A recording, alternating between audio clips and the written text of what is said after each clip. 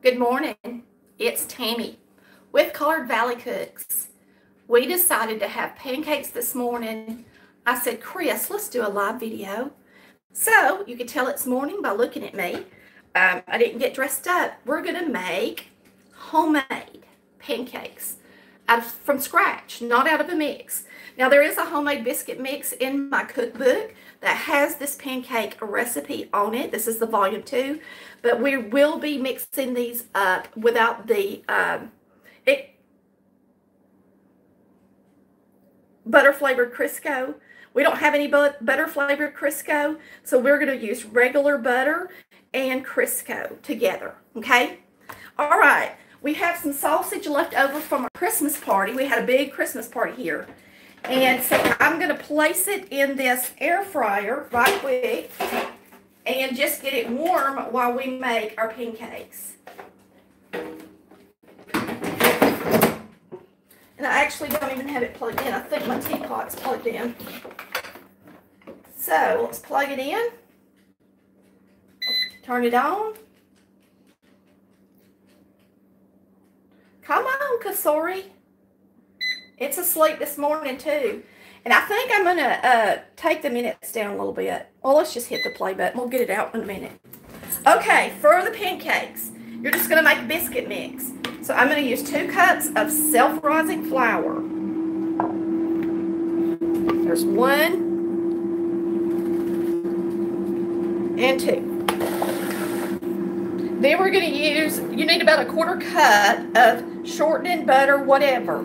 So we're going to use a little bit of butter and a little bit of shortening. And we're going to use our blending fork and we're going to blend this together. So what we're doing right now is creating a biscuit mix, okay? If you make my biscuit mix ahead of time, you can use your large KitchenAid mixer and it's really easy and you can make a lot. Um, or you can just mix it up from scratch. And of course, another option is to use the biscuit mix that I love most, and that's Southern Biscuit Mix Formula L. Um, I guess they can see me smashing that in on the sides. So you're just cutting in your shortening. You're going to want it to be about pea size. Um, I just meant it might be better from the other side for you to show them, but that's all right. Okay, so now we're going to go by this recipe and we're going to add what it says to add, okay? It says, that's ready. It says to add four pancakes, two cups of mix, which we've got, a teaspoon of vanilla, an egg, a cup of milk, so let me get a cup out, measuring cup. A cup of milk.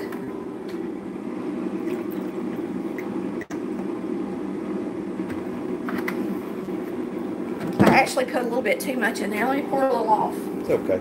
Is it okay? Yeah. All right. Chris says it's okay. An egg, but this is a jumbo egg. Oh, okay. Let me pour a little off. You don't want to get it too runny. I got a jumbo egg today. Mm-hmm. Um, and then sugar. Let me wipe my hands off. Two tablespoons of sugar. We're going to go ahead and throw in the vanilla as well. One, two tablespoons of sugar. Y'all, every time I think I got everything out for y'all, I don't. But then you get to see how Mama really cooked, right? Instead of pretending like you run a show. All right. There we go. That's pretty much it. So it says two cups of mix, teaspoon of vanilla, an egg, a cup of milk, and two tablespoons of sugar. We got it all together. We're just going to mix it up together.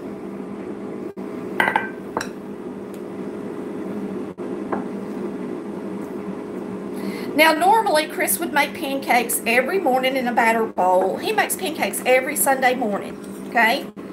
Um, that's what he does on Sunday. He loves pancakes. So he got up this morning and he was like, look, we've got sausage left in there from that party. Let's make some pancakes. I said, let's do it live. Do I need a little more in there, Chris? Is that wet enough, you think? I did pour off a little bit too much milk. Yeah. Needs a little more milk. Yeah, I poured when I when I poured my milk off a while ago, I poured out just a little bit too much. So you want it to be nice and moist. Here, let me get my spoon. Excuse my hand.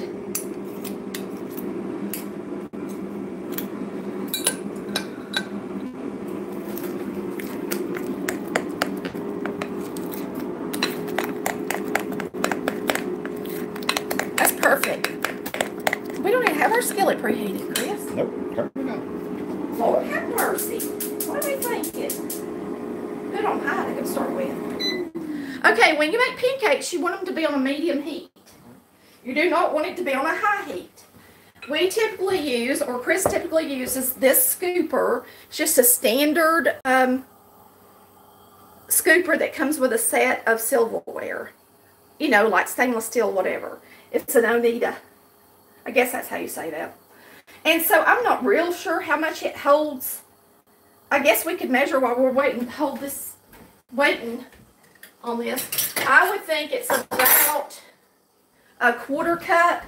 So we'll just see. And that way, if you got a quarter cup measuring spoon, you can use that much to make a pancake. Yep. It's a quarter cup scoop. That's what it is. So, y'all, I'm making a mess, but I'm showing y'all something at the same time, so it don't matter. Okay, we like to use this skillet to make pancakes in. You can tell it's black all around the edges. We hardly, this is the main reason we use this skillet is for pancakes. Um, this is a skillet that has the stone ceramic coating. Um, and it is, there's a set of this on our website, and there are also a couple of singles on the website under our tab cookware. So if you're interested in getting one of these, that's where you get it.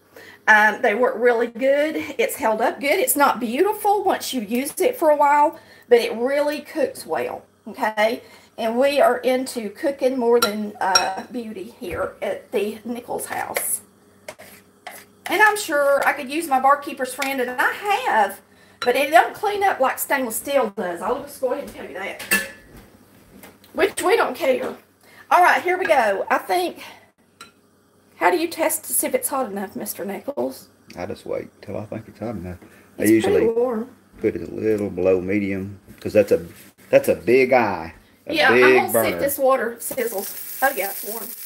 It. Okay, so you need to use a medium heat, not a high heat. You don't want your pancakes to get all brown. Okay, you want them to be golden.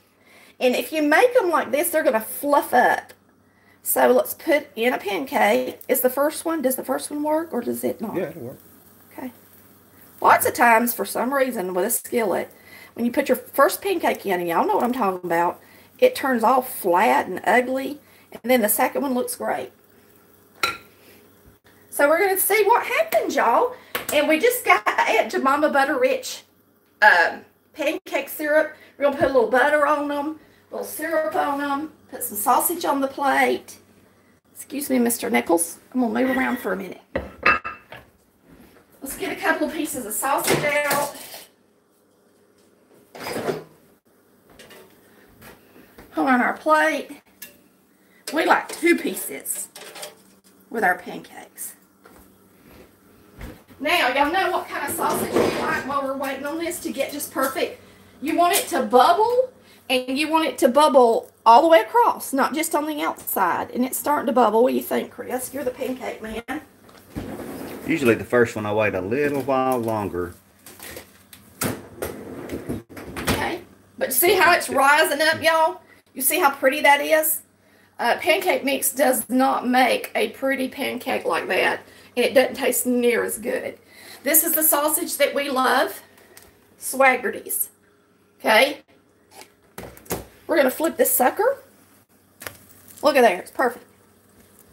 So as long as you keep your heat on medium, it shouldn't burn. It, even if you leave it in there a little bit longer, it should not burn, okay, and get too brown.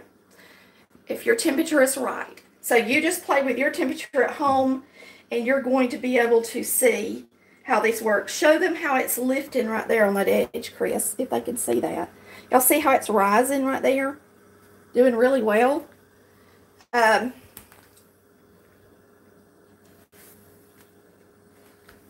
first pancake. All right, we're gonna make at least two. We all we all eat two pancakes. That's what we eat. This is a little bit thick, in my opinion. Is it to you, Chris? It's a little thick. You know, when they make waffles and stuff, the batter's really thick so that it works better in the waffle It iron. seems too thick because I make it really thin. yeah, Chris makes It's- his really thin. It's fine. There's nothing. I like it like this. I don't like for it to be so thin that I just like for it to be thicker. And um, if you go by the recipe in the volume two cookbook, it'll work perfect. Okay. So, um, and you'll be so pleased that you made a homemade pound cake, a pan, pancake. It's morning, y'all. I ain't even had my cup of coffee. Here it is. Chris said, um, Chris said, Is your hair okay? And I said, Chris, because I do get onto him sometimes when we're filming, like a real film, and my hair's sticking out. And I'm like, Chris, why didn't you tell me my hair hair's sticking out? He said, Is your hair okay this morning? I said, I don't care. It's morning. I'm barefooted. I got my pajamas on. And um, so it's morning, y'all. Good morning. That's not ready. Okay, it's not ready because it's not bubbling in the middle yet. Um, we are going to head back down to St. Mary's tomorrow with our kids. They have never seen the house that we bought. So we will be traveling tomorrow and traveling back over the weekend. Y'all keep us in your prayers and thoughts. I will I may post a couple of reruns. All right, now it's ready. You can tell it's starting to kind of bubbly across the middle. Look, it's too brown. Not to me. Chris likes them like that. I don't. I don't like mine brown at all. And the So- thinner they are, the faster they, you know, they'll cook faster, they'll bubble up faster. Right. These are a little bit slower when they're thicker, but they sure are good. They taste really good. Oh yeah. So anyway, y'all keep us in your prayers this week while we're down in St. Mary's. Letting the girls see the house for the first time. Somebody asked if there's a recipe for a syrup. You know, in the cookbook, we don't have a recipe for syrup in the cookbook. Well, no.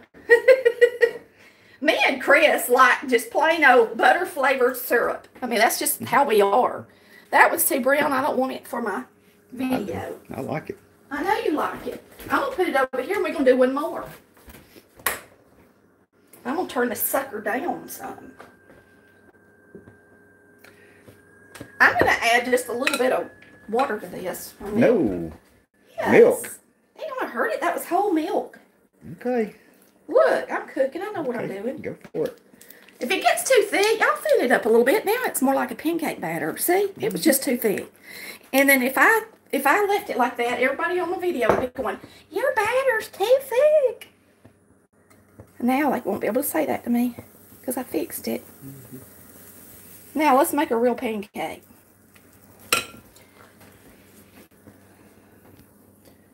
Get this thing out before it starts smoking. Here, I'll do it. Chris always worries about stuff while he's videoing. He can just tell me and I'll fix it. All right, so we just made a homemade pancake. It has two cups of flour, self-rising, a quarter cup of half, really it's an eighth cup of room temperature butter, an eighth cup of shortening, um, vanilla flavoring, two tablespoons of sugar, one cup of milk, and one egg.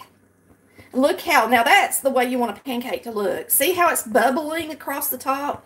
It needs to be thin enough you can at least see the bubbles. Perfect. That's more like it, y'all. She just wants a pancake to take a good picture. No, I like them like this. I do not eat the dark ones.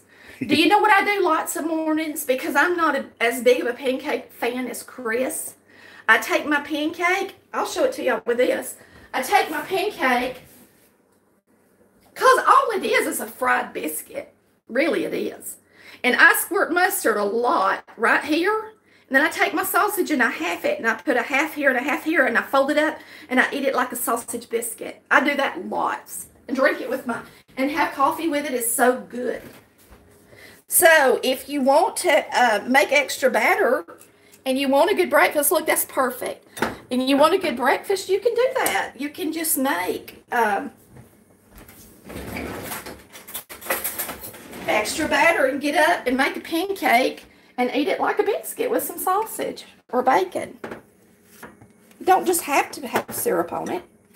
Lots of times instead of syrup, I also eat, um, I sprinkle mine with powdered sugar and cinnamon and nutmeg and don't even put syrup on mine. I'm not as big on just into the syrup as Chris is.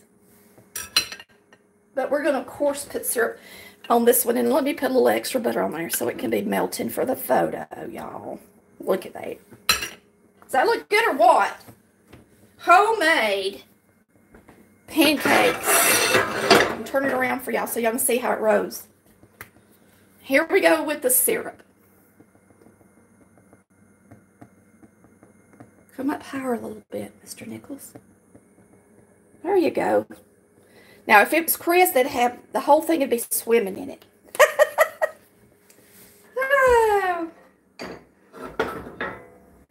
Now, we're going to sign off so we can eat our pancakes while they're hot. And we thank you for watching Collard Valley Cooks, where we cook like Mama did. Pray for our family as we travel to St. Mary's. And y'all be patient for us to get on a video. I might put in a couple of reruns or something. Y'all have a Merry Christmas, and we'll see you soon. I love you.